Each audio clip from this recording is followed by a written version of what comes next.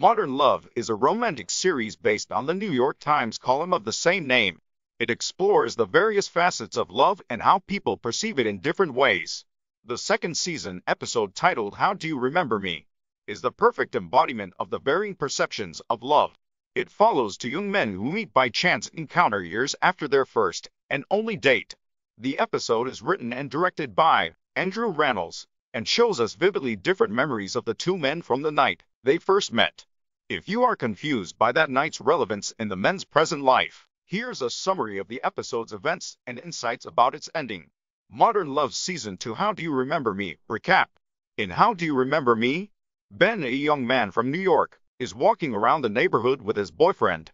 Across the street, Ben sees Robbie. The two share a knowing glance at each other before the story moves into a flashback.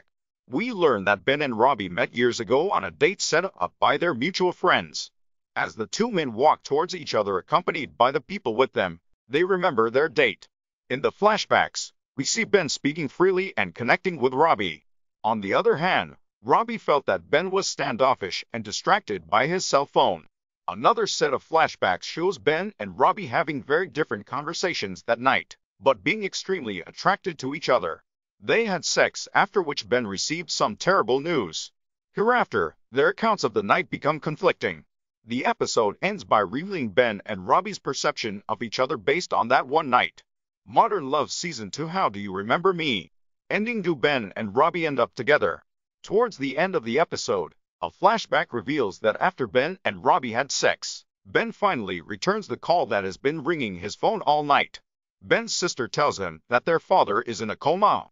Ben decides to fly back home, and Robbie comforts him. Robbie offers to help him with the arrangements.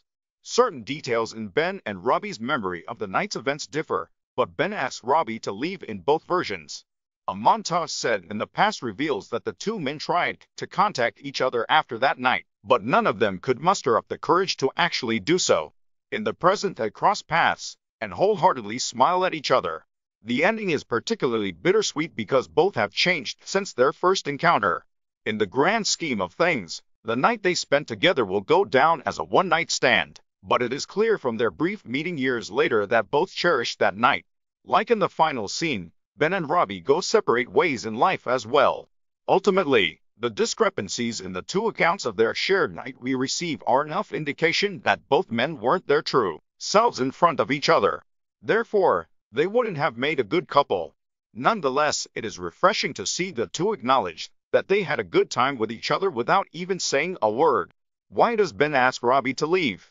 During the episode, we see many differences between Robbie and Ben's versions of their date night.